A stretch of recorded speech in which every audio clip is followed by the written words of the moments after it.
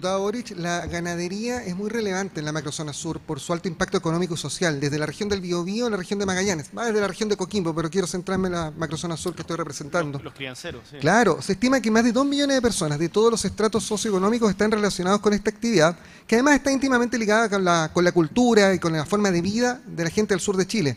Aquí hay artesanos, hay actividades deportivas ligadas. Eh, La ganadería en los últimos años se ha desarrollado fuertemente por los tratados de libre comercio. Por ejemplo, la exportación de ganado al mercado chino hoy le da viabilidad económica y una oportunidad de negocio y sustento a pequeños productores de la agricultura familiar campesina.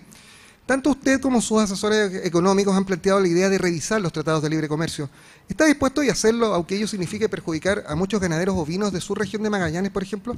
Y respecto de las tradiciones, ¿qué va a hacer para mantener vivas las tradiciones de la ganadería del país? Los símbolos patrios, la bandera, el himno nacional o el escudo.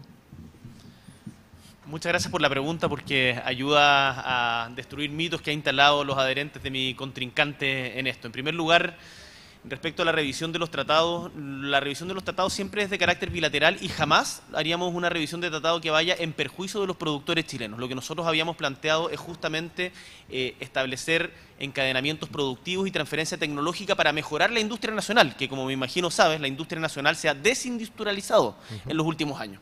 Dicho esto, me parece tremendamente relevante el poder mantener las tradiciones. Acá yo jamás, jamás he planteado alguna modificación a la bandera de la cual me siento orgulloso, ni al himno patrio, que además, no sé si todos saben, pero tiene 10 estrofas, nosotros cantamos solamente la segunda.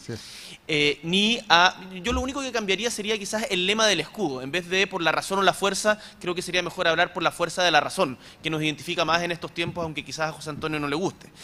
Eh, pero las tradiciones, por cierto, hay que respetarlas y por eso es importante la descentralización, porque sería inaceptable que desde Santiago un burócrata termine diciéndole a un agricultor en Osorno, sabes que tú no puedes trabajar con tu animal porque hoy día eh, esto es inaceptable.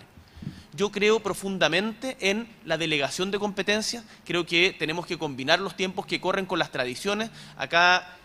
eh, Mira, un, un, viejo profesor me decía, la tradición no consiste en ponerse el viejo sombrero que alguna vez ocupó el abuelo, sino más bien en comprar uno nuevo como alguna vez hizo el abuelo. Oiga, y en ese sentido uno tiene que estar siempre actualizando, pero respetando la historia. Diputado Boric, y hablando de tradiciones, el rodeo, ¿qué va a hacer usted con eso? Yo creo que, yo creo que con el tema del rodeo eh, tenemos que... Mira, lo que, ent- lo que he entendido es que la gente que trabaja en el campo, estuve recién en la sexta región, en lugares donde hay rodeo, entiendo que José Antonio va a estar por ahí durante los próximos días, eh, son los más interesados en cuidar el bienestar de los animales. Así es. Y quienes trabajan con animales, quienes eh, participan con ellos, son los más interesados en cuidar su bienestar. Por lo tanto, tenemos que tener un diálogo con ellos para que no exista maltrato animal, pero a la vez mantener las tradiciones. Muchas gracias, candidato. Le